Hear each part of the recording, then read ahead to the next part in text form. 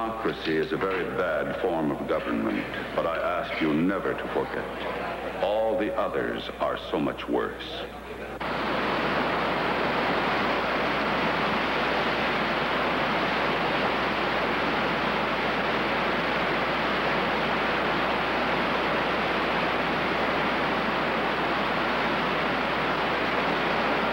Hold on, old boy, hold on. You got my side. That's to wear 'em out. Who's wearing who out? Easy now. Hey, G-Man Doc. Got him. I was getting close for another shot of brandy. you sweat that much over a little fish. In the future, I'm going to take my internal medicine business elsewhere. Little? You calling my fish little? That fish was five pounds if it's. Right, Turner?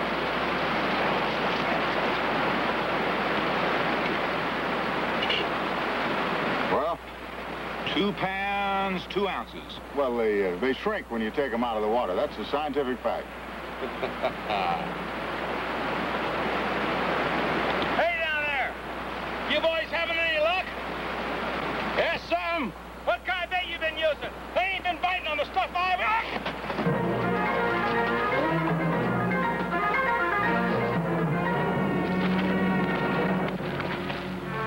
Get bag out of the car. Easy with him. Yeah.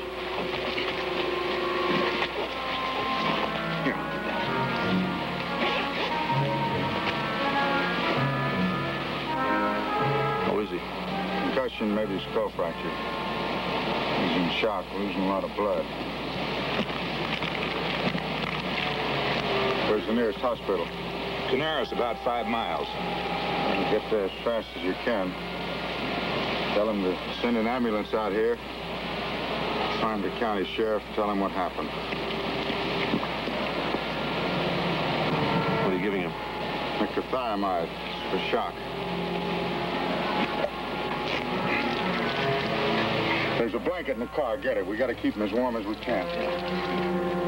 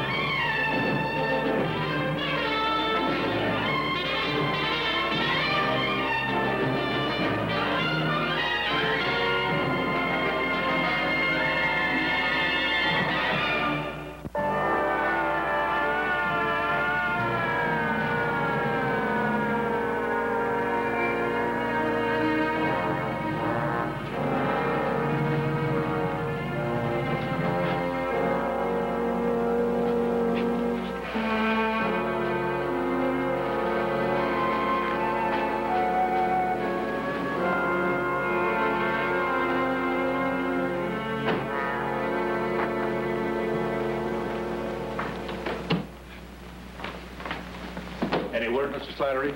No. How is Sam? Oh, Dr. Kirk's still in there with him. This is Mrs. Fancher. How do you do? And this is Mr. Slattery, one of the men who found him. I keep telling him to be careful, but he's so clumsy. He's a big-footed ox. You know, last month, he tripped over a skate, right in plain sight. He almost broke his nose just because he never looks where he's going. But I'll tell you one thing, no more fishing trips for him. He's not gonna... Are you Mrs. Fancher? That's right. I'm Dr. Kirk. Dr. Kirk? Dr. Kirk was fishing near where Sam fell. Mrs. Fancher, I'm sorry to have to tell you. Well, I guess Sam has good luck, falling right into a doctor's lap. Your husband's dead, Mrs. Fancher. It's Nancy's birthday. We did everything we could to save him. Oh, Sam can't be dead. He told me he was coming home early today. He, he was going to decorate the house up. He was going... You'd better sit down. Oh.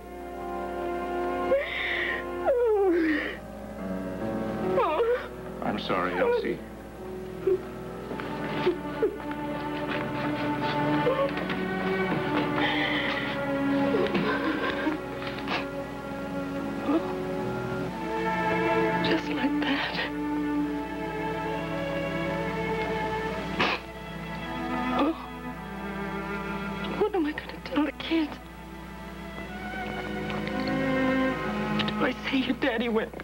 And got himself killed? Is that what I say?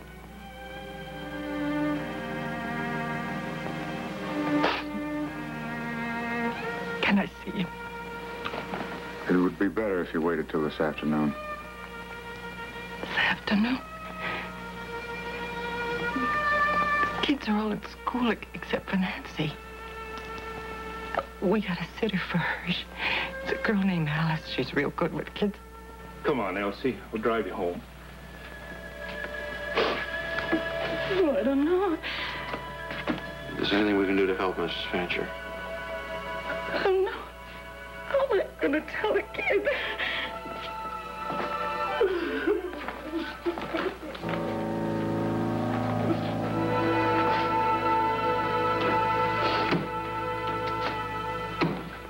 Well, you can't win them all. I don't keep score, Doctor. All you can think about when a man dies is you should have saved him. I'm sorry. Come on, Kirk. I'll, uh, I'll drive you back to Capitol. That could be premature, Doctor. Oh. What more can he do? Well, let me clue you in on the processes of grief, Mr. Slattery. At the moment, Mrs. Fancher is stunned. Her first thought is what she'll say to her kids, how she'll survive it. But in the next few days, on the advice of a relative or an emotionally uninvolved neighbor, she's going to contact a lawyer. Malpractice? Following a doctor's injunction almost as old as a Hippocratic oath, protect thy right flank. In case you don't know it, in this state, a good Samaritan is open game. I better wait for the autopsy and the coroner's report. Yeah, yeah. Well, call me when you get back. I'd like to know what happened. Yeah, well. Well, Mr. Slattery, I rather expected you to be looking me up. Your bill has been assigned to my committee, I believe. Have you read it? I read all the bills dealing with the medical profession. What do you think of this one? Your reputation for precision and conciseness is justified, Slattery. You have a gift for legislative language. Thank you. Tell me, what uh, prompted you to introduce this bill? Hmm, an incident. Maybe a justifiable fear on the part of a doctor friend of mine that responded to a call for help. And enough research to reveal the need for a Good Samaritan bill. Need. When a man says need to me, I'm always curious to know what need he's talking about. The great democratic need or the minority political need? I'm talking about the need of the next poor guy that gets racked up on the highway and passed by a doctor who's uh, afraid to treat him. A Good Samaritan Act, exempting doctors from any liability when they stop to administer emergency treatment to their injured fellow man. You have a very popular bill there, Slattery. It exudes sweetness and light. You want my help, I take it. I uh, recognize the political facts of life, Adam. Nothing gets through health and welfare without your uh, approval. That's true. Nothing does. I take it that you're prepared to argue its merits. No, I, uh, I think its merits are evident. And this time I'm not in the minority. 32 states have a Good Samaritan bill. Thirteen states have turned it down. Two governors have vetoed such acts. And one governor rejected it on principle. In the other states where the bill was turned down, it was turned down because the language wasn't right. In all the states where it was passed, there was practically no opposition. Let me give you something, Slattery. The distillation of 30 years' experience in this august chamber. It's Adam Smith's law, number one. Simply because there's no opposition to a bill does not make it a good one. You're against. I'm against. Well, I'd uh, be willing to redraft and clarify the language if you thought it was cloudy, Adam. No language will ever make that bill more palatable to me. Then why are you against it? I don't think I'm ready to discuss it yet. Let's wait until it comes up before the committee. Wait a minute. In other words, You were prepared to exercise your power of veto even before we discuss it? I've run this committee for 20 years, Slattery. Let me give you Slattery's law number one. Just because a thing has been done for 20 years one way doesn't mean it can't be changed. I'll be frank with you, Adam. I intend to see this bill passed one way or another. Frankness is a modern virtue, Slattery. In my day, we thought more highly of tact. But the greatest virtue of all was strength. And I have that. I'll see you later.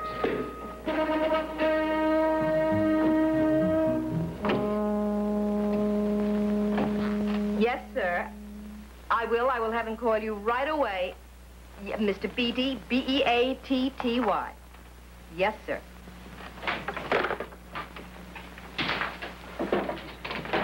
Have you talked to Mr. Smith? Yeah, I talked to him. Did he give you a reaction? He gave me a serving of his Victorian rhetoric spiced with aphorisms and reflections. He's against. Did that surprise you? John Akron and Adam Smith. I want you to get me a list of all the medical legislation that's filtered through his committee in the last 10 years. You think you can do it? Sure. And then get a hold of Mr. Highland and the minority members of Health and Welfare. Tell them I'm going all out. It might have a little more weight if it came directly from you. I'll get to them later. Just hoist the storm warnings. Okay. Yes? An attorney, a Mr. Jackson, is waiting to see you. I tried to get him to set up an appointment, but he wanted to wait. He said it was important. Now, let's see what's so urgent with Mr. Jackson. Yes, sir. Oh, and uh, a Mr. Beatty with Armada Insurance has been calling all day. He also says it's very important. Oh, yeah. Yeah, I'll talk to him later. Uh, send Mr. Jackson in.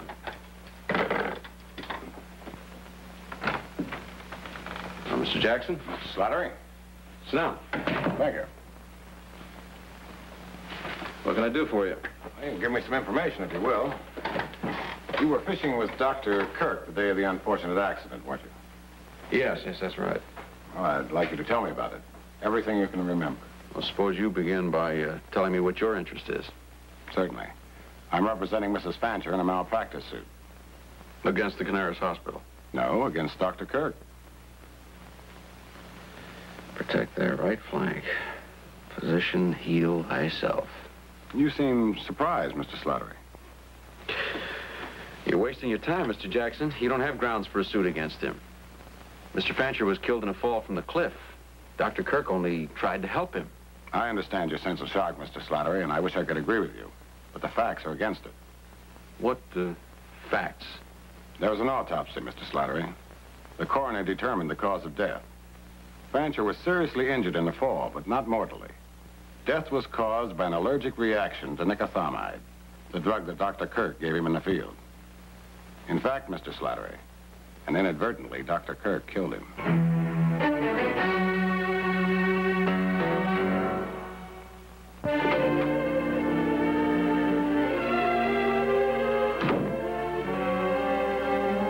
You can't talk to the doctor right now. He's busy with 26 charity patients. Look, Mrs. Levine, if the baby won't stop crying, look for pins. Well, then hold him against your breast and croon to him in Spanish. Well, even if you don't know Spanish, all kids love folk songs. Yeah.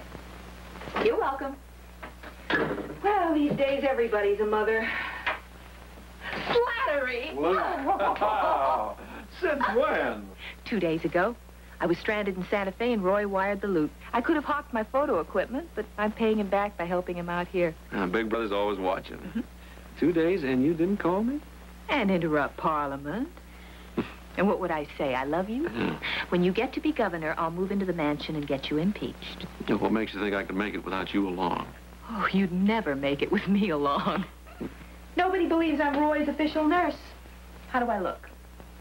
Thinner. I'm ordering these two sizes smaller so I'll bulge in the right places. I want to make the world lusty. well, how about me? Have I changed, huh? Come here. Oh. There, that ought to be worth about ten votes. You feel better? Mm, only if you're going to stay in town. Not your type, Slattery. I hate politics. I can't balance hors d'oeuvre trays.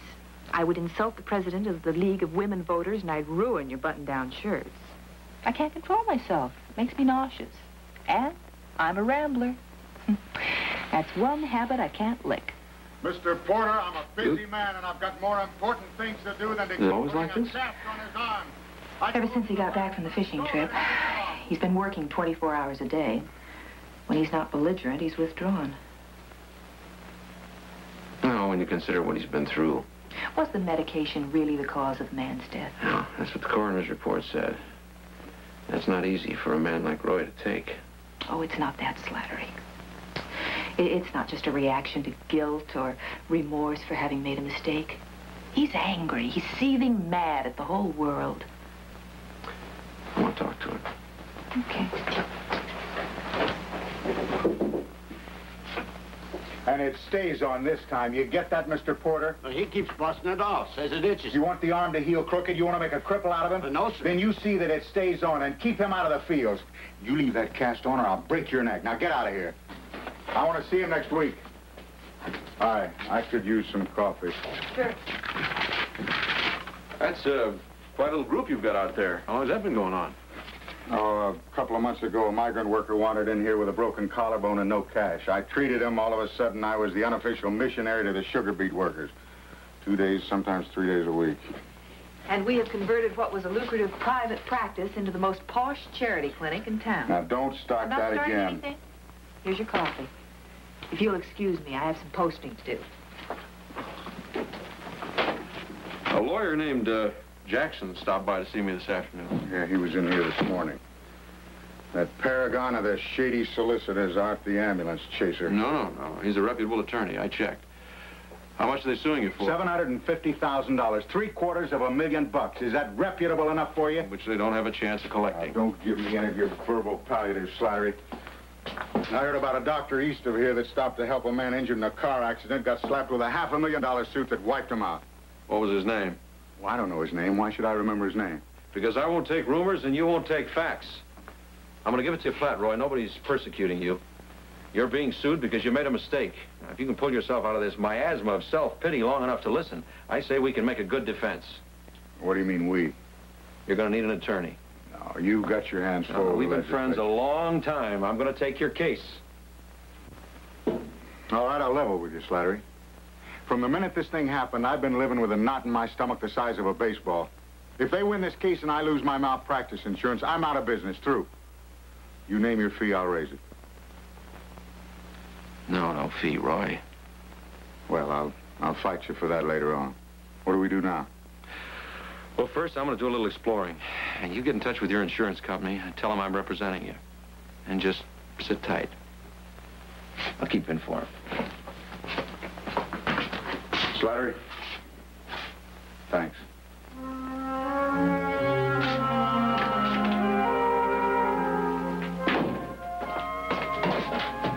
All right, send in the next one.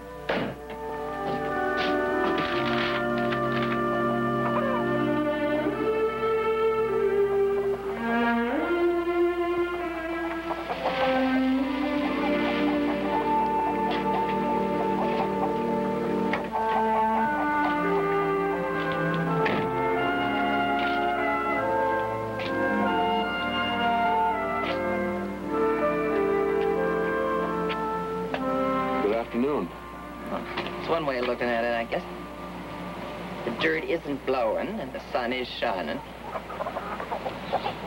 You know something, Mr. Slattery? I was just standing here feeling envy for these chickens. They scratch around in the sunshine and they, they got food given to them. And most of all, they don't have to think. God was very good to chickens. Mr. Jackson said you'd probably be out here to see me. You're the doctor's lawyer, aren't you? Yes.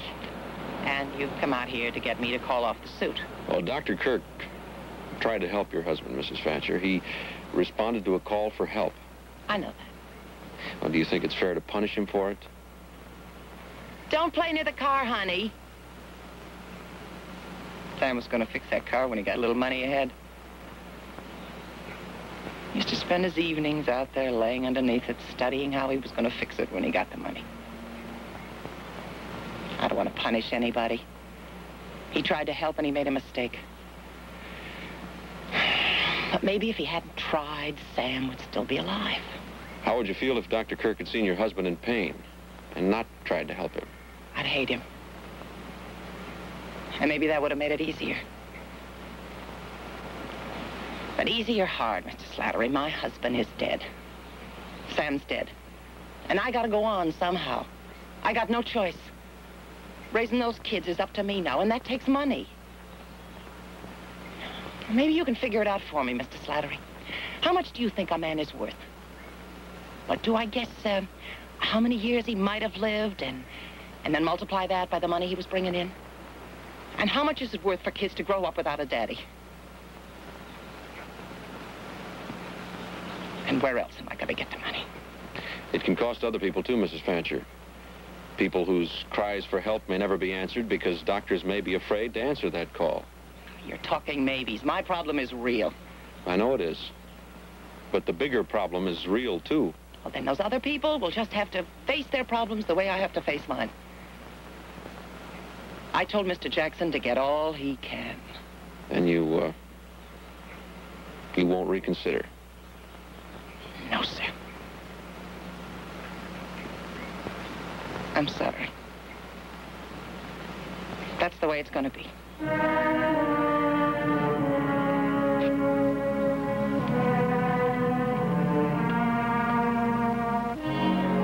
How do you take it? Oh, uh, strong and black. Good, then you're gonna like this. You got the touch. it's a secret formula. So, It's, uh, it's nice of you to let me come over. what do you got in your mind? Well, I hate to see this case get to court. That's the long and the short of it. Oh? I've come to know Dr. Kirk pretty well in the course of my investigations. And it isn't often that a guy like him comes along. He could be making $30,000 a year if he didn't do so much free clinic work. Takes a lot of guts to dedicate yourself like that. Go ahead. Well, it's a shame that he's put himself in a position where he can be ruined for just one mistake. And you think this can ruin him?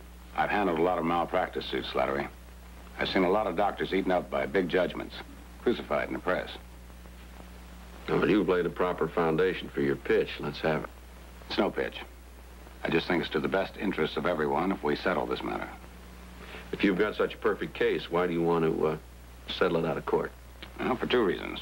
First, I hate to see a good man spread all over the landscape. And second, Mrs. Fancher is broke. Took all of her money to bury her husband. There's some technical matter about her Social Security, and she can't afford to sweat out a long court case. Dr. Kirk carries $100,000 in liability. We'll be willing to settle for that. We're not. Do you want to talk it over with a lawyer from the insurance company? No, Beatty and I are in complete agreement. We're going to fight it all the way. I'm sorry about that, Slattery. But I have a client to protect. And if I have to nail Kirk to the wall, I won't like it. But I'll do it. See you in court.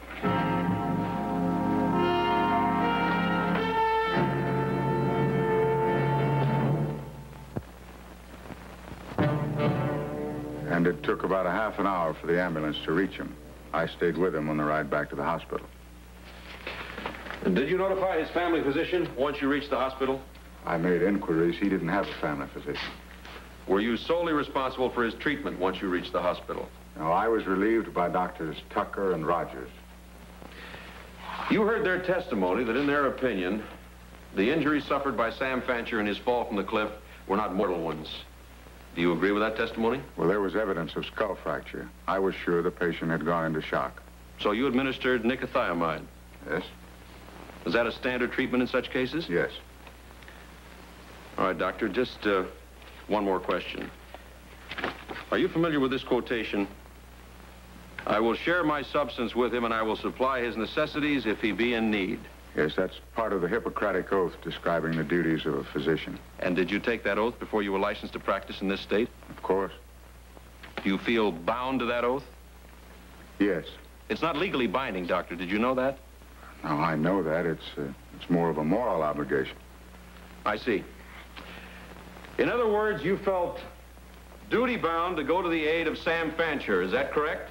I had no choice. I had to help him. Thank you, Doctor.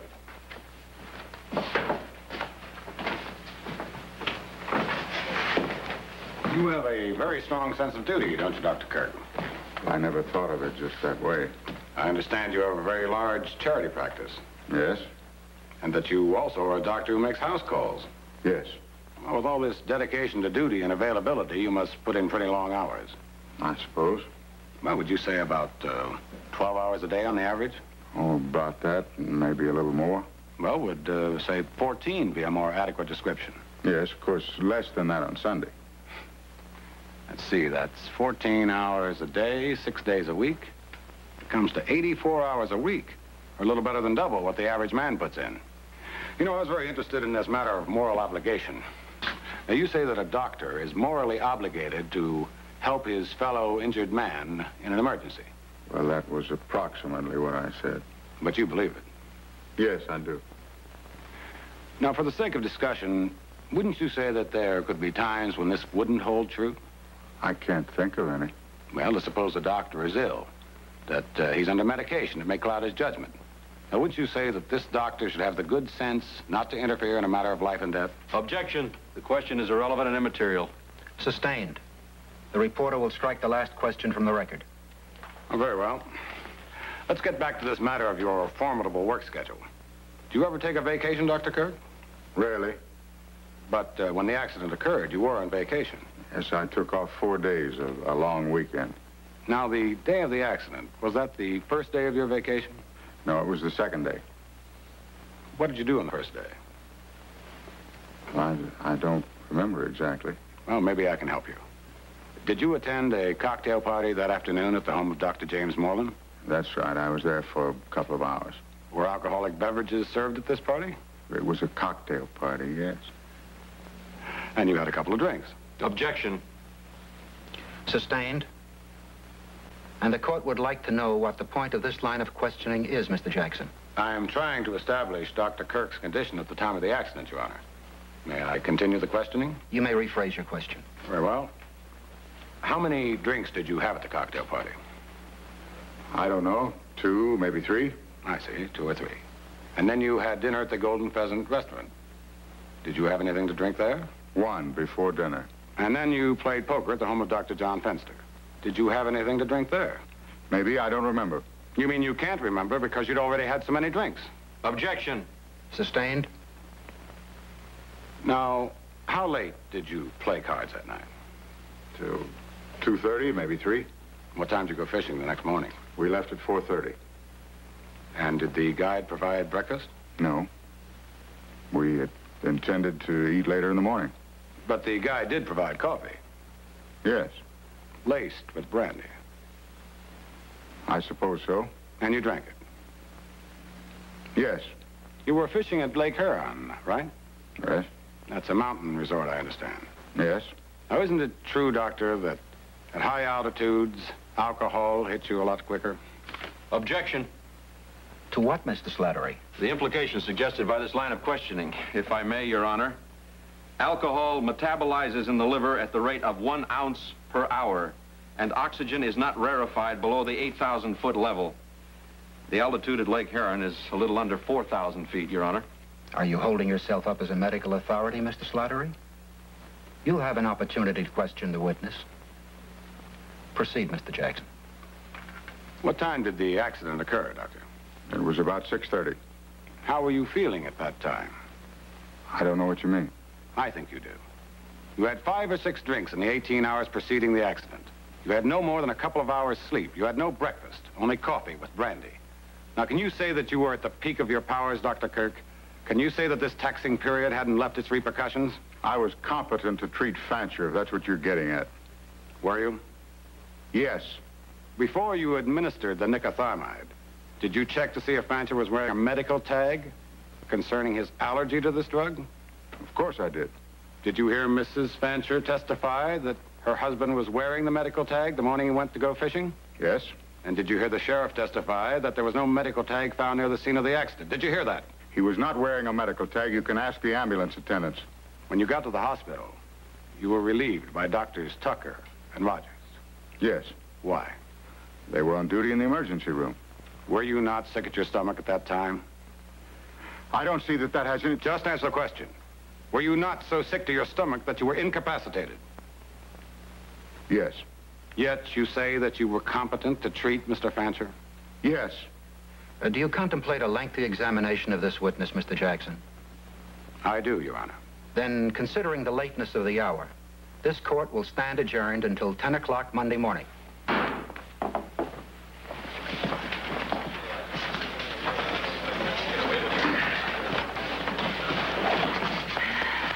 They're really out for blood, aren't they? Oh, not yours, Roy. It would clash with the state seal.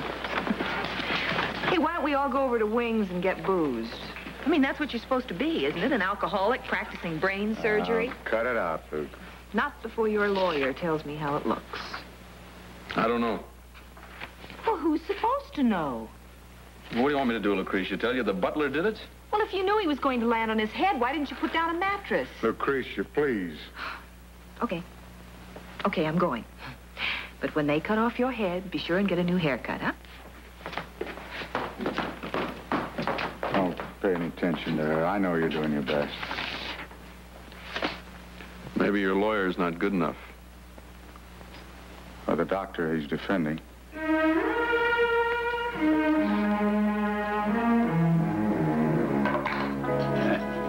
I understand he's got you between a rock and a hard place. Yeah, I've been squeezed before, Bert, but never like this. Well, what do you want out of me? I want HB 1849 switched to another committee. Oh, I see. If you can't hit a home run in the ballpark, you want to switch to one where the fences are lower? I don't mind the fences. I just like an umpire that isn't blind. Meaning? Smith has set himself up as a one-man judge of the entire medical profession. It's all in here, Bert. All the bills that have been passed by health and welfare. And very few, if any of them, have ever given members of the medical profession an even break. Are you saying Smith is prejudiced? Uh, it all fits.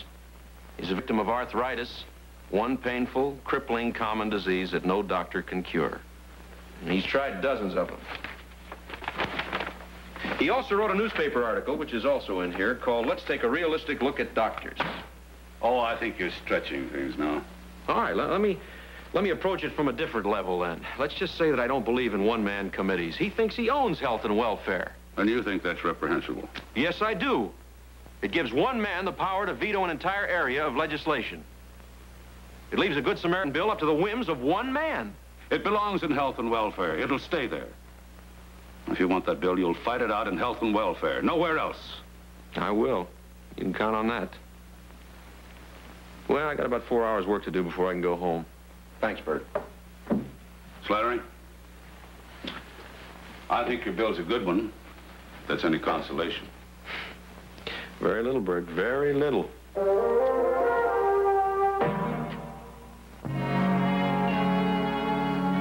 I see. Yes, Sheriff. Yeah, and you searched the route he covered that morning? I see. Right. Thank you very much. All right. Bye. Saturday morning. And the only ones working are the men who are slow or the ones who have fallen behind. Sit down, Adam. Times I find it more comfortable to stand. You know, it's really fortuitous your being here. I think I owe you an explanation. An explanation of what? The reason why your bill will be defeated on Monday? You're pretty sure of yourself, aren't you? At my age, I find it difficult to play let's pretend. Are you familiar with that section of our state Bill of Rights which reads every person ought to find a certain remedy in the laws for all injuries and wrongs which he may receive in his person, property, or reputation? Yeah, I know the section. I believe in the Bill of Rights, Mr. Slattery. And yet your bill would make a doctor immune to liability and give the person he had injured absolutely no recourse under the law. Now, my bill has provisions against that. A doctor can't be protected for gross negligence. Gross negligence? No court's going to hold a doctor responsible on a broad generality like that. So you, uh, you scare them off. You make it hard for them to obey the moral dictates of their professions, eh? I've yet to see a man of real principle shy off from his duty just because he didn't receive advance assurance that he wouldn't be held responsible if he made a mistake. Well, you really have it in for him, haven't you, Adam? Uh, How do you picture yourself? As a kind of a one-man judge to protect the general public against the stupidity and avarice of the medical profession? I protect them from blind worship, if that's what you mean. I realize that doctors are human. That the practice of medicine is an inexact science. Which can't cure you. Which can't cure me, but that's really beside the point. So you make them really toe the mark. You know, you're in the wrong pew, Adam. You ought to be in some committee where the general public doesn't have to pay for your frustration and resentment. Are you accusing me of a conflict of interests? You said it. Then you have recourse. Take it to the Rules Committee. Try for the Committee of the Whole if you like. But before you do, examine the facts. Ask yourself how much credence the House will give to charges made by a man who leaves his desk to exonerate a friend and profit by a fat fee. In the days of my youth, the position we currently occupy would be described as a Mexican standoff. You'll be at the committee meeting Monday, or will your other duties prevent it? I'll be there. Wouldn't miss it. Should be very entertaining. I'll look forward to it. Have a pleasant weekend.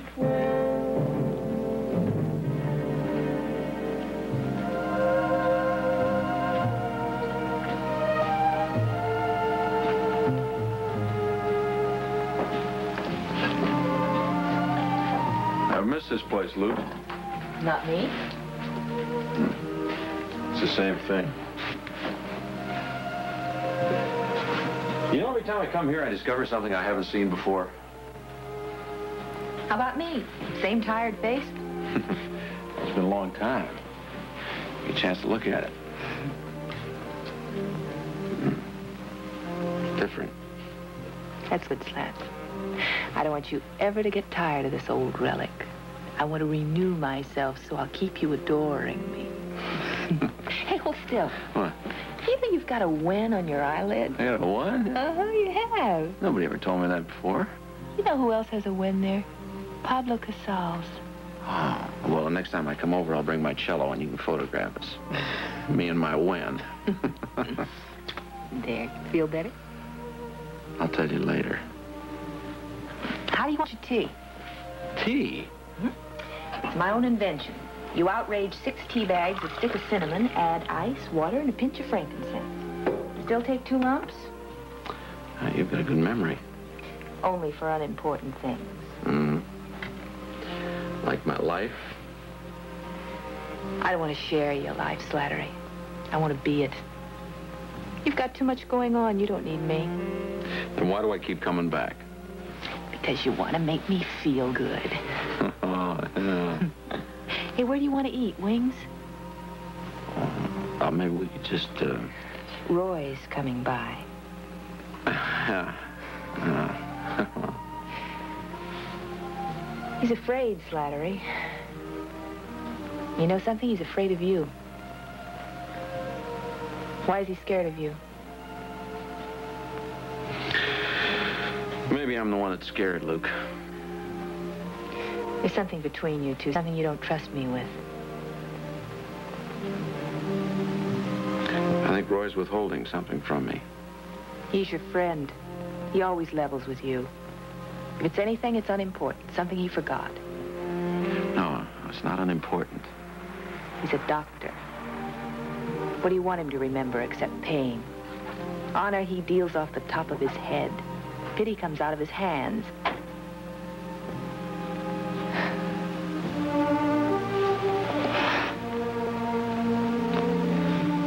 Just remember, he's as much your brother as mine.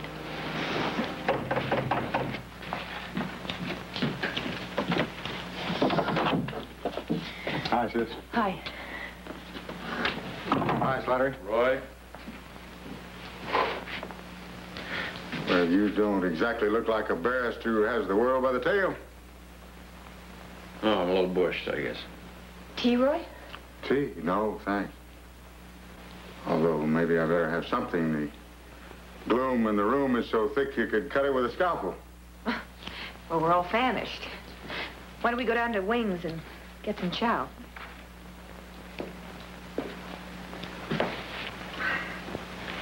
What's the matter, Slattery? There's something bothering you. I can read it like a fever. No, I was, uh... I was going over the transcript, Roy. One part of your testimony bothered me. Oh? What?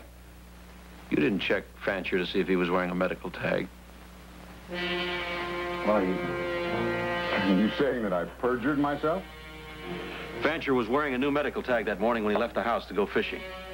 The sheriff had his men cover every inch of that ground that he passed over, and they didn't find anything.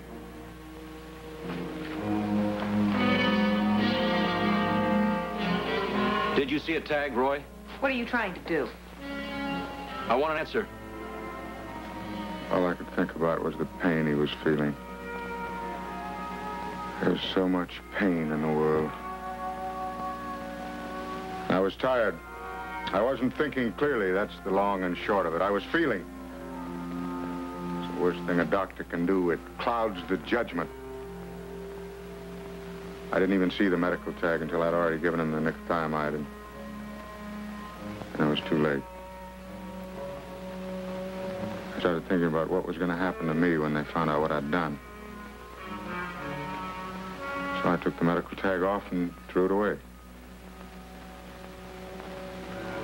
When we got Fancher to the hospital, I did everything I could. But it was too late. Why didn't you tell me this? Stop it!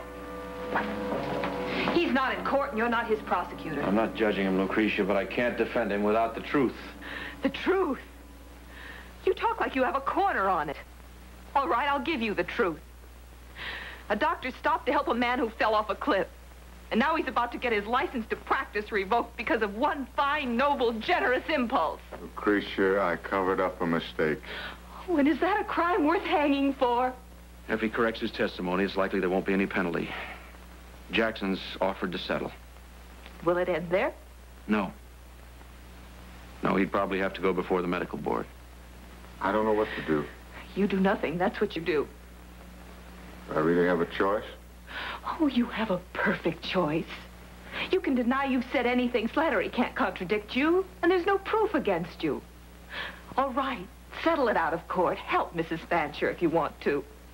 Oh, but don't throw your life away.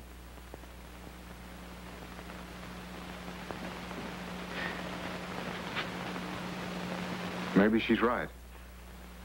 Look, Roy, uh, I know what you're going through under the same circumstances. I, I might have done the same thing. I know what fear can do. But that's what you were going to say, wasn't it? A qualification. Well, let, let's look at it this way. I treat over a 100 migrant workers a week. And suppose I take the grand plunge. I'm put out. What happens to them? No, there are other doctors with a sense of charity. So charity, you take Roy. away all the outs, just like that. Now, you listen to me. I'm a doctor, and it was my duty to help that man out there in spite of my condition. If your bill had been passed, I wouldn't even be in this situation, would I? Well, I don't know, and that's the truth of it. Maybe if you hadn't been afraid... If I hadn't been afraid, I wouldn't have thrown away the medical tag, but the man would have still died. That's the only difference. You know what you're saying? You're saying, step in, doctor, help out, we'll protect you. But you're also saying you better be careful. Don't make any mistakes and error in judgment, because if you do, you've had it. You're trying to legislate idealism and perfection, my friend, and it can't be done. Look, there, there's no point in going on with this. I don't care about ethics or dilemmas or moral discussion. I just want a straight answer. If Roy decides to settle and keep his mouth shut, what are you going to do? Do you want an answer and to prove my friendship, Lucretia? Are you that unsure? All right, I'll tell you what I want. Roy, I want to put you on the witness stand. I'm going to pound you until you tell the truth. If you don't want that, then you better get another lawyer.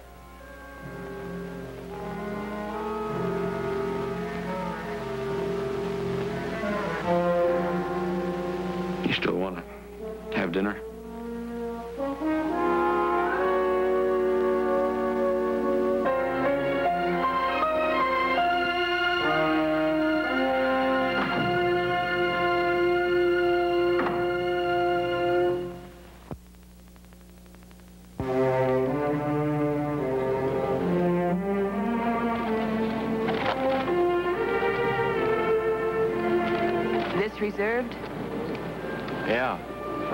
And pigeons. You, uh, know you're littering the park. You always were a lousy pigeon feeder. You don't just throw that stuff out like you're rolling dice. You don't, huh? Oh, you were scattering it around like you didn't care whether they ate it or not. You gotta share it with them. See? I mean, not, not too much. That's part of my lunch. You didn't eat either. Waiting for you. Now, what made you think I was coming? Hmm. Boy, have you got an ego, you know that? Lou, what I don't know for sure, you fill me in on, okay? I mean, I didn't even know I was in the park, but you found me here. What else don't I know? Well, sometimes a little pigeon feeding is worth more than a thousand words. Chinese proverb. What else don't you know? You don't know that right now Roy is trying to settle his suit out of court.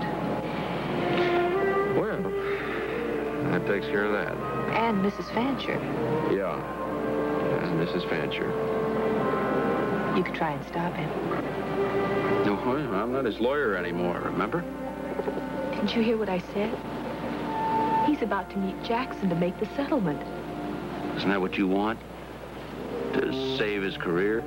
What good's his career? He tears himself apart every time he tries to prescribe an aspirin tablet to set a broken bone, just because he once made a mistake.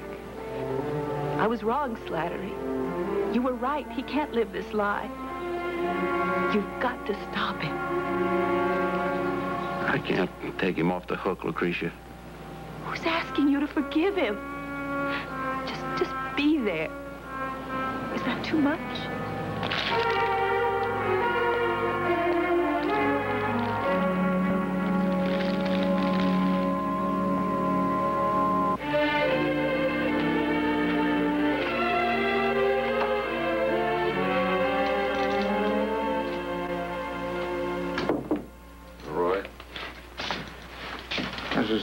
Remarkable instrument a stethoscope is. Magnifies all the sounds in the human body, but it's rather useless for twinges of conscience. Did you ever hear a conscience twinge, Slattery? Practically undetectable. I made the settlement. Yeah, yeah, so I heard. God's in his heaven and all's right with the world. I guess you realize your chances of being underwritten for malpractice insurance is probably zero right now. Well, that's the price of expediency, my friend. Thanks. So how goes it with the Good Samaritan bill? In about a half hour, the committee room will begin to fill up for an informal requiem as HB 1849 is laid to rest. Maybe it's for the best. You want to defeat it? Would it startle you if I did? It's a good bill. You sure of that? Well, it, it does something that needs doing. Yeah. Yeah, but it's got loopholes, Roy. It's got loopholes that can't be plugged. Provisions that can be abused. And an unscrupulous man can hide behind it. Like me. And me, Roy. I wanted you off the hook, and I'm not sure I cared how you made it. Who am I to condemn you? I called the Medical Association this morning, gave them all the facts, everything that happened. I'm supposed to go in this afternoon and make out a sworn affidavit. They'll notify me when my hearing's to be. I guess I just got tired of running scared. I was scared out there at the lake when I realized what I'd done. I was scared when I took the medical tag off of. I was so scared at that hospital I was sick from it. I was scared in the courtroom. Scared enough to start backtracking when you guessed what I'd done. Well, fear is just as bad for a doctor as emotional involvement. You, you can't live with it, you can't work with it. You know what the board will do? Well, I know what they can do. They can revoke my license, or they can issue a formal reprimand and let it go at that. But, uh, Bill's what's important right now. What do I tell the committee? Tell them what you just told me. Let them know, Roy. You've got to let them know what terrible things a fear in the gut and an unreasonable panic did to a truly fine doctor. Will it do any good? It better. Because if it doesn't, will you answer the next cry for help? Will any doctor?